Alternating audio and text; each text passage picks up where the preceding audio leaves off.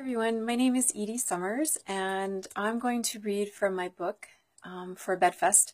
Um, I was in bed for six months and I, I did have CFS um, and my book is about my experience with it and I was recommended by a good friend of uh, this community to do this.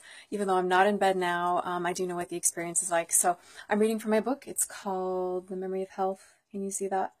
And I'm just going to read some of the passages from there. And um, I kind of had an idea that I kind of call it when you feel like you can't move. It's I call it the unmovable hour.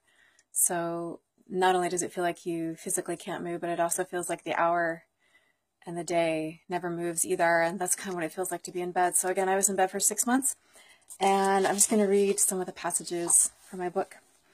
So I literally felt trapped in my body it was the final straw for me, and thus I entered the worst six months of my life.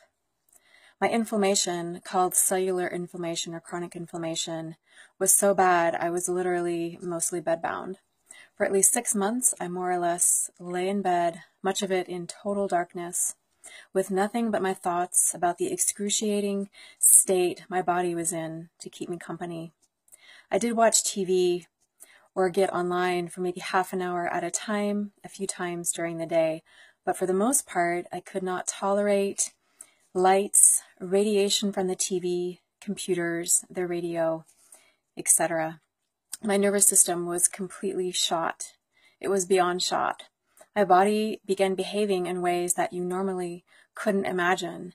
I couldn't sit most of the time because the level of inflammation in my body was so bad. And again, Imagine cement right before it dries.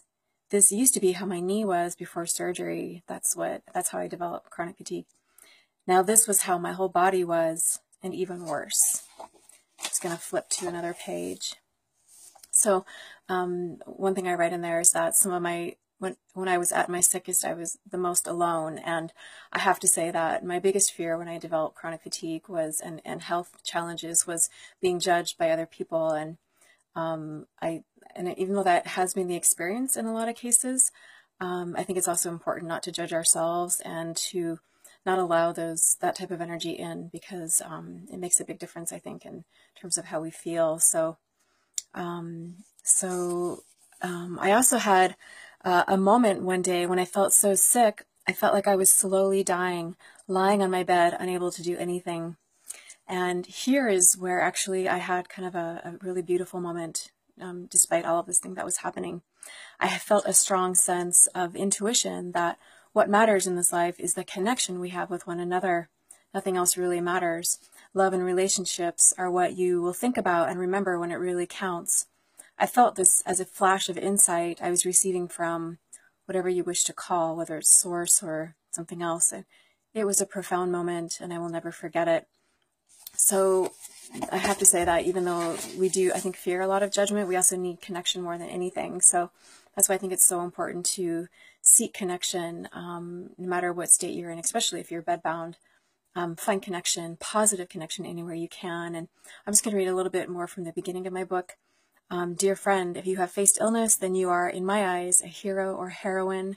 There is little more daunting than the horizon of suffering. Um, the odds are likely that you're reading this book because you have some type of health or other challenge, or you know someone else who is seeking answers. You may be searching for a glimmer of hope that this current storyline will end.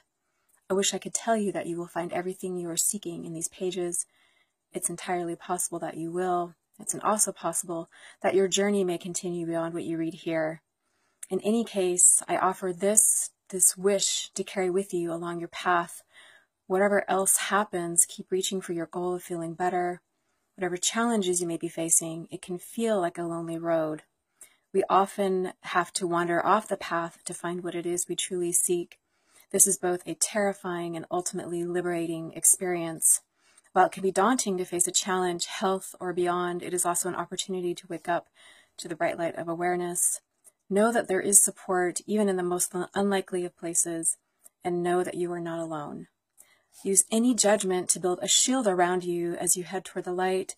Whatever you do, don't give up. You are closer than you believe, and as you believe, you shall set yourself free.